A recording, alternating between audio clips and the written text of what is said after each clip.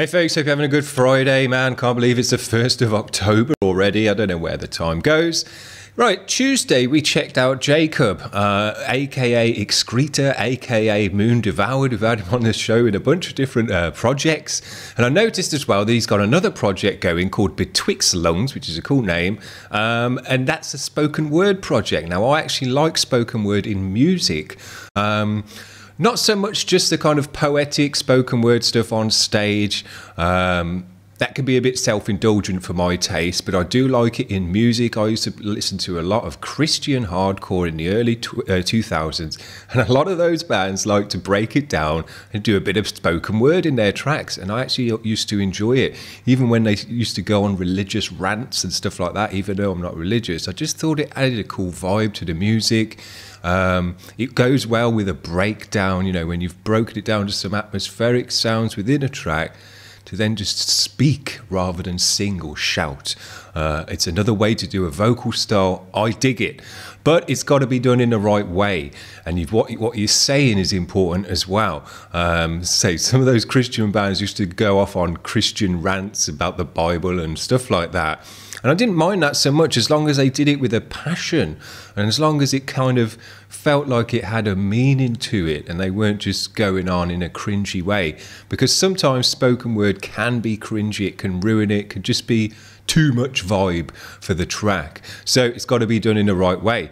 Now, I mentioned in that video that he does some spoken word in his in his music, uh, and I'll, I'll, be interested to check it out. And he sent it over for, for us to do that today, which is very cool. I've not listened to it at all. I've got no idea what it's all about, uh, but I'm very interested to hear what it's about, and I think he's interested to let me hear it as well. So we're going to do that. The track is called An Effigy of Howls. It's featuring Atlantis. It's got an official vid to it, so let's give it a spin, see what's happened.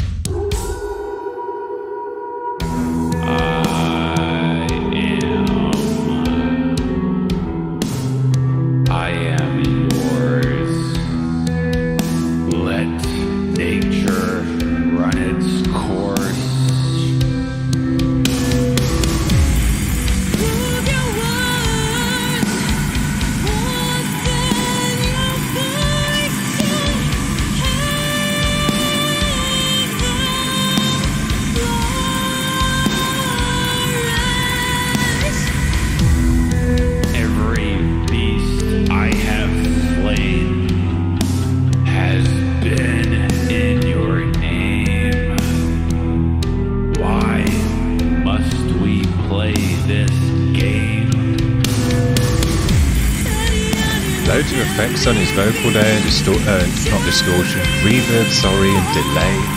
Sounds cool and atmospheric.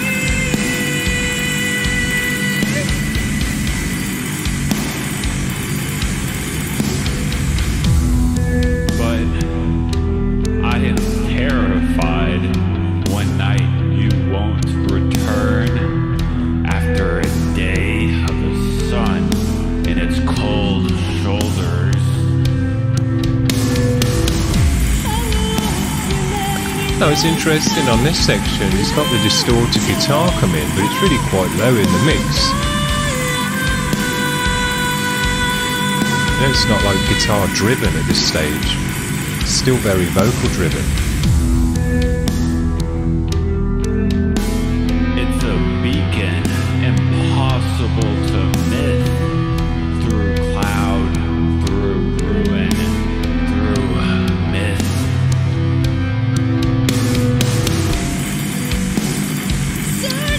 Feels like it loses the bass part at this section as well.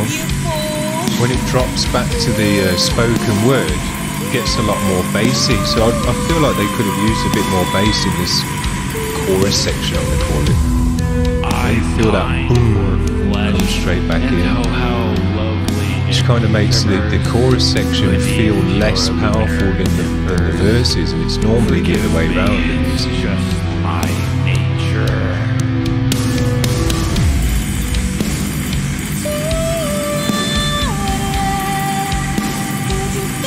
I like the frills on the uh, cymbals in this section, though. That sounds cool, gives a cool energy to the music.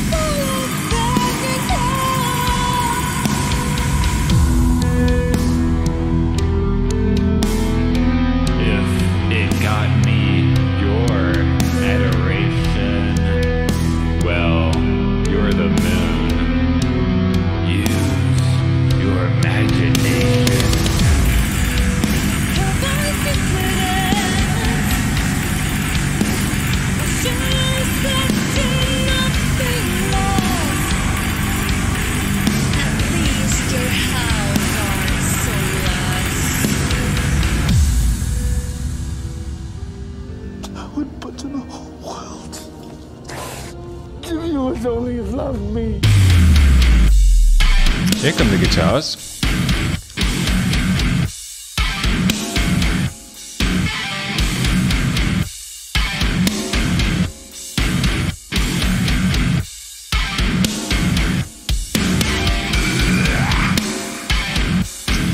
Yeah, here comes the heaviness.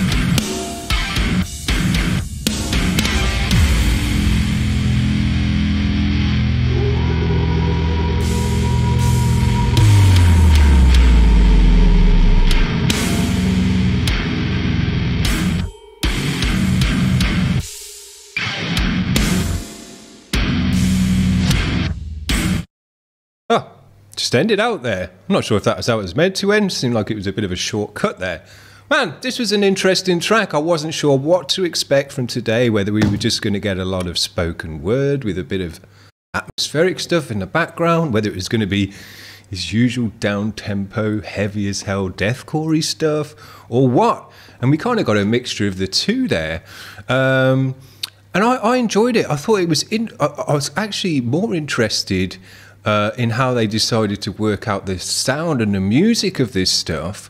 Uh, because the vocals and the, the spoken word stuff was very good. You know, there was no issues with that as far as I was concerned. But I thought it was was kind of a strange choice um, to have the chorus less kind of a drop down in terms of volume and power and bassiness within the sound um, than it was compared to the verses. And I, I would, I actually do think it would have been nicer to either keep that bassiness within the mix for the chorus or even up it up harder because that is a nice dynamic of the music. I mean, it's pretty typical, you could say, and you know that's what you hear in a lot of music, but it works well where your verses are at one level and then it kicks up a gear for the chorus and then drops back again for the verses. It's just, know, it's just the bread and butter of music that is.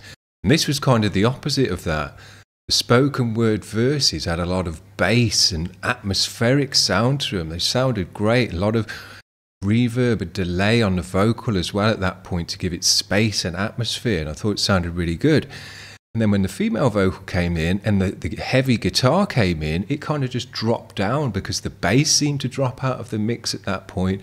The vocals were really buried, the guitars, sorry, were really buried in the mix and not kind of a guitar driven thick sound like we had at the end of the track. Uh, and I think it would have been nicer if the if the guitars were a bit louder and were a bit chunkier, and the bass, the the, the kind of um bass sound that was in the verses was still in the choruses as well, because it it felt like it was nice and thick, and then it kind of dropped out, and then got thick again for the verses.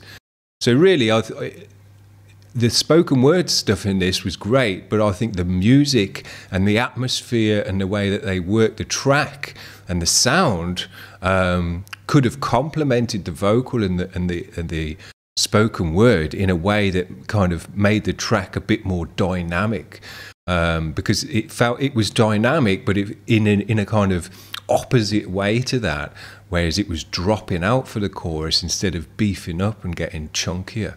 Uh, so that would have been the, kind of how my ear would have would have liked to have hear, heard this track. I'm not going to really call it music because it was it is music, but it's more spoken word, and that is different to music. You know, they're not it's not singing and it's not kind of there's not a, a, a, rhythm to the vocal and things like that. So it is a different kind of music i would say spoken word is to, to a regular song. Um, but man interesting stuff. I'd like to hear more of it to see where what else goes on in this kind of music. Uh, see you know what the other tracks have got going on in them. Um, so yeah very very cool to check it out and send it over. Thanks for doing that. Uh, and if you do put out any more videos send them over as well. I'll be, I'll be interested to hear what's going on in this kind of music. And one thing I do really like about this guy Jacob now is that he's really putting his hand to a lot of different stuff. He's obviously got a very dark edge to him um, you know, he's got that kind of it's not blackened, but the, the, the deathcore guys, there's some dark deathcore guys, which this guy is one of, uh, and they've just got that kind of darkness to them. It's in a different way to a blackened band, but it's that kind of vibe, you know what I'm saying? Uh, everything they do has got an atmospheric, dark and edge to it. These guys aren't making happy music in the least, uh, and it came through in this one as well, that whole vibe, uh, and I really dig that from Jacob. I like that it comes through. Doesn't matter what he's doing now, whether it's deathcore, down tempo deathcore, this kind of stuff, or what, featuring on other other people's work, he brings in that darkness, that deathcore nastiness, um, and you know he brings that along with him whatever he puts his hand to. I think it's very very cool. So yeah, I enjoy this guy a lot. Thanks for making a submission, uh, and be interested to see what you put your hand to next. Very very cool. Hope you're having a good Friday. If you're gigging and stuff over the weekend, have a good one. We'll see you around. Bye.